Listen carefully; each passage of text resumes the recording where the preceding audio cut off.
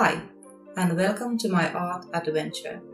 In this video, I will tip my toes to entirely new way of using acrylic paints. Enjoy!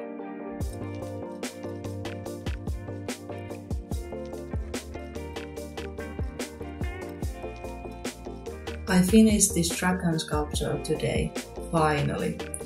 I made the base of the dragon last December, so it took me a long time to add these finishing touches. I haven't made any sculpture before, and I was afraid that I will ruin this piece. That's probably the reason why this took so long. Hmm. Luckily the inspiration hit me today when I was painting my dice tower. I had some leftover paints on my palette, so I figured I shouldn't waste my precious resources. So that's why the palette looks like bloodbath. I used a lot of red paint on my dice tower. By the way, would you like to see it? The tower, I mean. Anyway, back to the dragon.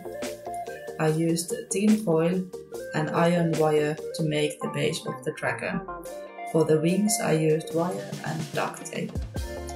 When the base body was done, I used air dry clay to cover it all. The clay was surprisingly easy to work with. I made slip with mixing clay and water together and with that I added more details, for example the horns and spikes. I also filled any gaps with the slip Wings were harder to work with the clay and slip. I had to add many layers to the wings to get the result I wanted. I was very pleased to the dragon and my clay craftsmanship. However, the next part, painting the piece, was making me anxious.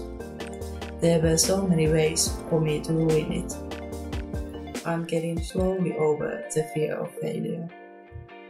This is my hobby and I deserve to enjoy it. It's not the end of the world if I make some mistakes.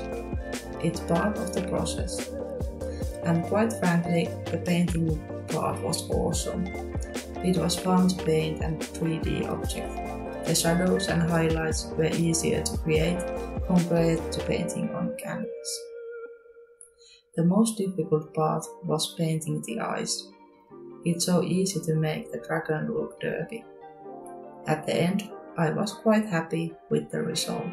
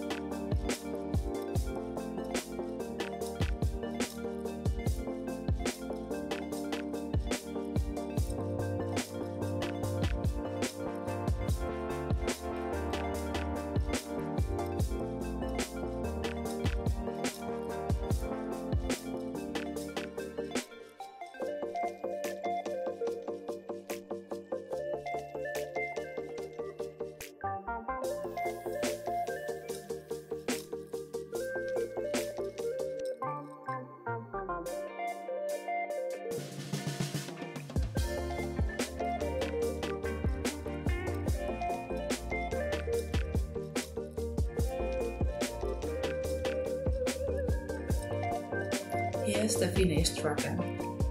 It has a mighty stand where it can guard the realm. I haven't named it yet.